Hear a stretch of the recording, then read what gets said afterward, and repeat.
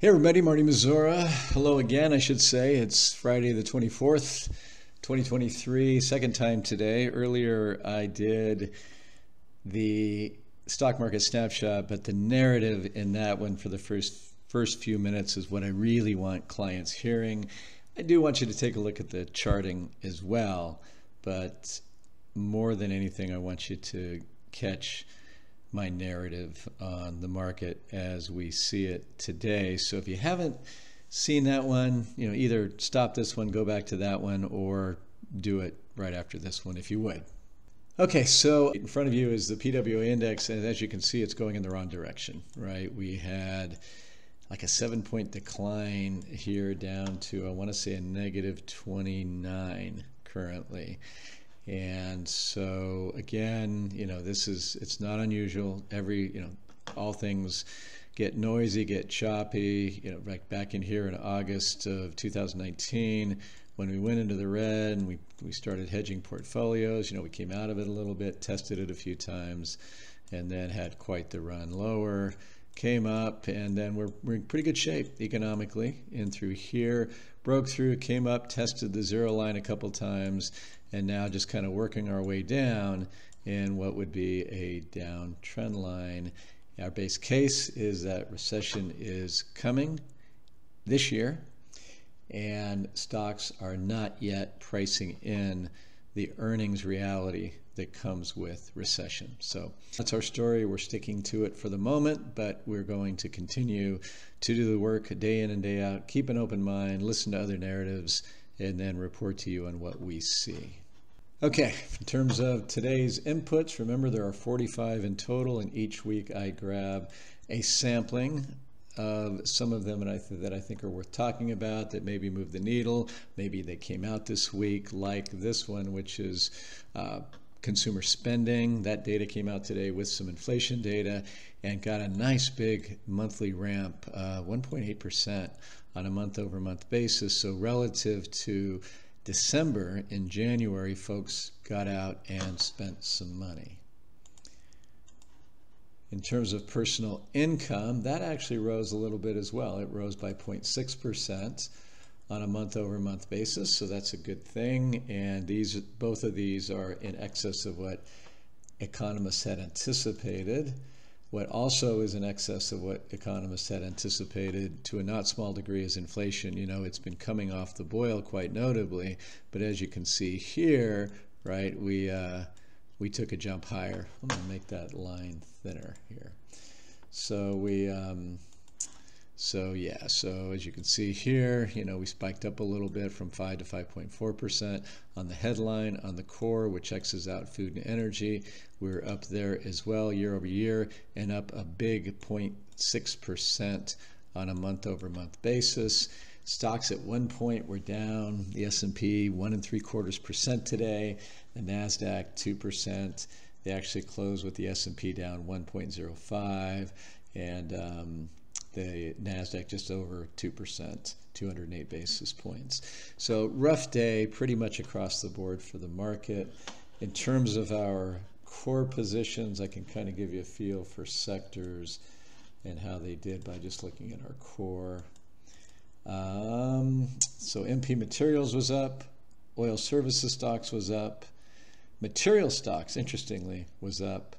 Um, financials were up a little bit, and I, even utilities were up on a day when bonds were selling off. So that's interesting. So we had a handful of things that were up, had a lot of things obviously that were down. And I get into the weeds in the earlier video on our inflation view, short term, and then more importantly, our long term structural view, if you will. That's why I really want you watching the earlier video today. Personal savings rate actually went up, you know, and I'm going to say that's a good thing. From an economic perspective, it could be a warning sign, right? That if people are suddenly um, now beginning to save more of their income, maybe they're not going to spend more of their income, right? Or by definition, I guess they're not. And maybe they're beginning to uh, see some signs that are making them a little uncomfortable. 4.5 is still, you know, historically low, you know, certainly by re recent history standards, but um, you know, it is it is moving up here a little bit mortgage purchase apps. Uh, literally, you got to go back like 30 years. What is it, 1994 ish, 1995 levels. Um, the 30 year mortgage rate is up to like 6.8% right here. But this does not speak well of general conditions, obviously, certainly not for housing, although existing home sales did surprise to the upside. That's not one of our indicators. We have several other housing indicators, but it certainly is one that we track and, and pay attention to. And that actually, again, rose this week for January's numbers, while a lot of the housing data has been pretty negative of late. Heavy truck sales surprised me to the upside. So we're still sticking with this uptrend here on heavy truck sales. And that historically has been a not unimportant um, economic indicator, I'll put it that way. I wanted to take a look at commodities, right? Speaking of inflation, because again, as I said in the earlier video, I didn't want to repeat all that, but you know, we have inflation ramping up, but it's about to come down, folks. It's about to come down because of base effects, year over year dynamics. And it's about to come down because I'm pretty certain that we're right on our economic thesis that there's going to be some noticeable slowing, and that's going to bring inflation down as well. But I'll stop there because I did that on the previous one. But you know, our Bloomberg Commodities Index, as you can see, continues to roll over, and that's a disinflationary force. Uh, this sure looks a lot like a bull flag to me. As you can see right now, we're sitting on a 38% retracement, which is kind of key, 38, 50, and 62 of this big rally off the bottom that we think is just the beginning of a secular bull market in commodities. But absolutely, you know, commodities are volatile. No ifs, ands, or buts about it. And we expected them to come down as the economy begins to come down. Um, bear flags tend to retrace as much as 50%. So if this does that, you know, then we've got a bit lower to go. Um, at some point, you know, we're, we're going to be adding to our commodities positions, but we think it's going to be a little later in the year when we actually do get the washout that we're expecting. I wanted to jump to copper as well. Copper is kind of bucking that trend. It's obviously a component in the previous indicator, the Bloomberg indicator, but here we actually popped up. And, you know, there's a lot of bullish news coming out of China in terms of what they promised to do uh, relative to boosting their economy in 2023. And there are some real headwinds. We can get deep into the weeds and the bearish case for China succeeding there this year, but I can tell you they are going to bring a tremendous amount of resources to bear to come back and to be able to claim success coming out of those draconian lockdowns that they did for so long. I wanted to include the Baltic Dry Index. Last time it was in free fall. Um, this is you know, shipping across the world's oceans. It does speak to emerging markets. China is huge, obviously. And um, what we did talk about here, though, is the seasonality of this as well. Uh, you can see at the beginning of years, uh, we do tend to see this thing come down. You know, lots of things can impact this. I mean, the supply of ships, you know, can, can impact it when th- things are really ramping up. You know, more ships are going to come online. And so you've got capacity that can bring prices down. But I think this was China lockdown, maybe some seasonal factors. My point today is that we had quite the big, like a 300 point jump week over week. So that's something to keep an eye on. And that coincided with that little bit of a spike that I just showed you in copper as well.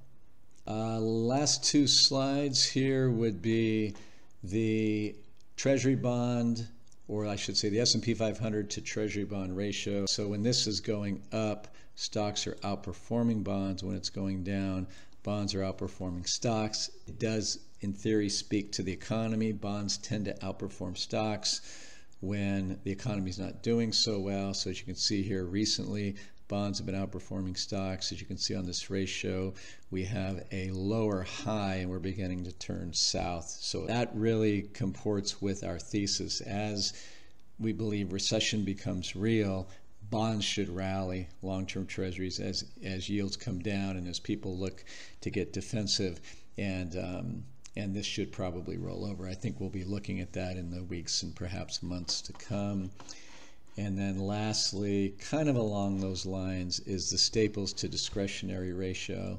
So when this line is going up, consumer staples are outperforming consumer discretionary stocks, right? So the companies that would be staples companies are things that you pretty much got to buy if you want to stay alive. Discretionary sector encompasses the companies that you go and spend money at when you have discretionary income. So as you can see so far this year, as we know, you know, discretionary has been outperforming staples quite noticeably. The ratio is a negative 12, right, from the beginning of the year. And so we saw that, that, that, huge bounce back from discretionary, which were a disaster last year. Um, but we're beginning to come back. That makes more sense to us relative to what's going on in the economy. And when you look at them individually, there's XLY, which is a discretionary ETF. And then you can see that there's XLP kind of hanging in there. Oh, these last, oh, not that long, last week or so. But uh, even here, right, you have you have looks like the, the makings of a downtrend. And you've got it here. I mean staples will will go down you know when the market gets sold off. It's just in recessionary conditions they tend to go down a lot less than discretionary stocks. So folks we think there continues to be the evolution of this moving toward you know our recessionary thesis. You there are countervailing data. You know the jobs data has been pretty good. I thought i had jobless claims dialed up. They actually were down 2000 week over week um, so again, jobless claims continue to impress. Job numbers tend to peak and jobless claims tend to trough very soon before recessions begin. So when you hear people say, oh, you can't have a recession amid such good employment numbers, oh my, how I beg to differ. History says something dramatically different than that, that recessions tend to start quickly off of what look like really good, impressive levels in the employment numbers. So, folks, I'm going to leave it there. Hope you have a wonderful weekend. Hope this is all helpful. Thanks for watching and listening. Talk to you soon. Bye bye.